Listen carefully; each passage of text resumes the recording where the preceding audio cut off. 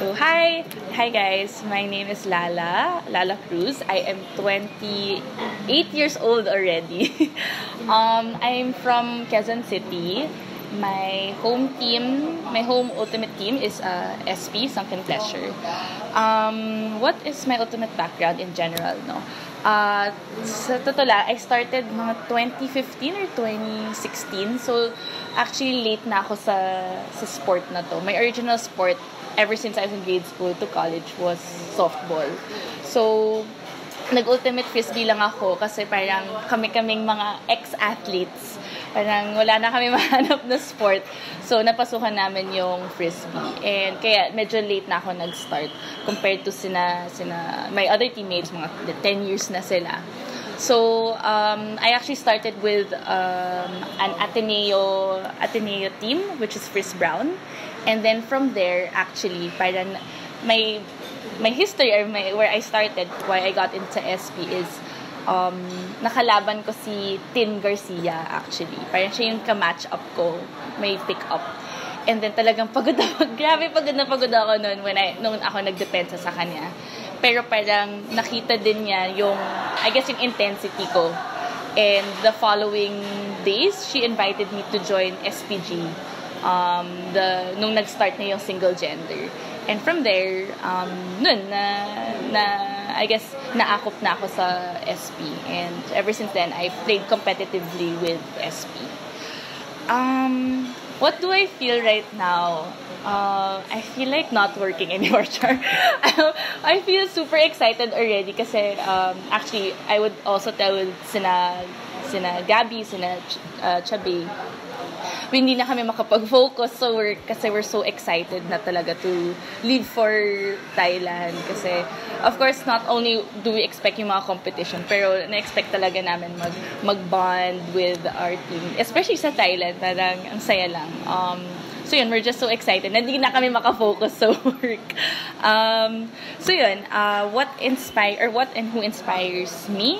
Um, and ba't ako bumabangon? At para kanina ako bumabangon? Well, in Ultimate Frisbee, sa totoo lang, um, I mean, I think everyone says this talaga. It's, si Chan talaga is uh, who, who everyone idolizes, no? Um, which I, I mean, it may be generic or it may be basic, but it really is true kasi it's seen naman talaga, how, why I idolize Chan is because how he, he, he instills a culture. Parang nakita ko na din na um, sa SP, na how he was able to instill discipline and the culture of um, you know working hard um, going through hell sa trainings in order to you know to earn that championship and um, sobrang hangang-hanga ako sa determination niya um, not just, you know, in sports, but in general din. Um, so hopefully, parang, you know, ma-reach ko at least yung kasing level, yung same mindset niya. Kasi sobrang nakaka-inspire talaga. And that's why he's Chanet. That's why he's X. That's because that's how he is, you know. Um, so, how do I train for Ultimate? Um, well, of course, actually a lot of people would think no training is mainly for like sa boot camps namin sa weekends but what they don't see is the Monday to Friday grind um, ako like when I knew na I was lined up for Thailand I already contacted my SNC coach si Marvin Dubazay shout out um, for the program Um, so he that that grind hindi nakita ng mga tao. Parang sobrang important 'yun kasi it helps me keep up not just a boot camp, no, to uh, keep up then with my uh, whoever competitor I'd uh, I'd be meeting sa Thailand. And second is I think to be able to train for ultimate, you also have to know your weaknesses then. Um, like sa totoo lang ako, I know my weakness can be sa throws. And so I already talagang put my heart as in halos may may may everyday goal was 100 throws every day para lang maka, para lang uh, wala na yung I guess yung weakness na yun. So that's how I train, no. Um it's the underground grind and at the same time being able to fix or to um, adjust um, any weaknesses that I have. Um, what do I expect from all of this? Actually, um, I expect for sure it's gonna be a fun tournament, a fun weekend. Like excited na talaga ako um, because not only will we have like good good companions, but I think also the whole um, the whole competition that it's invitational, it's new, um, and it's not it's an eye opener or not an eye opener, but it's a tournament na um, will ideally showcase the sport um, for SEA Games or hopefully later on sa Olympics, no? Um, in the in the far far future.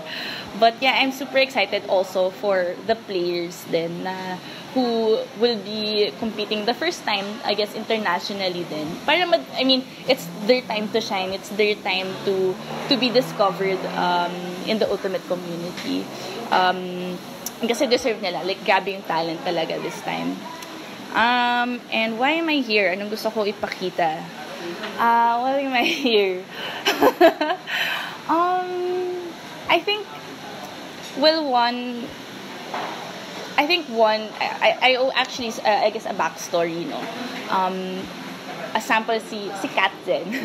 si Katzen, um, sorry if na-name drop ko, but si Katzen, like, she would always tell me na, she told me, like, recently sa boot camp na parang she really idolizes me. And actually, when I would post sa schedule about the, the tournament, um, I think there were two or three parang would say na parang sana parang maging kasing galing kita or like ma makuha ko yung skills mo um, or sana maka-reach ako sa level mo. And um, I think there uh, another reason why I'm here is it's not it's, it's not because you know sa skills ko but it's more of paving the way na you know na maaabot din nila to. That's what I always tell them na uy kayo naman next parang ako para uh, um, ano lang start pa lang to pero kayo na yung susunod. Kayo na yung dapat ma, nandito sa position na to. So I think it's just more of being the opener or the starting of a, a uh, I guess a journey for rising ultimate athletes such as them. So so excited ako. I mean, of course it's sad like parang I still don't wanna, you know, um, graduate from the, you know, the this division. But of course, marami pa talagang talent out there na kailangan talaga makita ng lahat. So, hopefully ito na yung start na yan. Prayers ko. okay. Ano ba?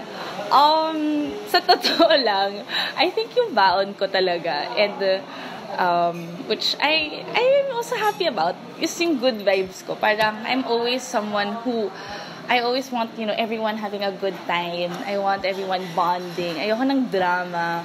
Um, I hopefully parang I mean, I'm sure wala namang wala namang ganun sa sa team, pero parang I always try to emulate uh, good uh, positivity always, no. Um, and I feel like I'm feel I, I guess kasi it's it's me and uh, Chabe, yung eldest na women's here. Um, I feel like I can also be an ate to these new players, no?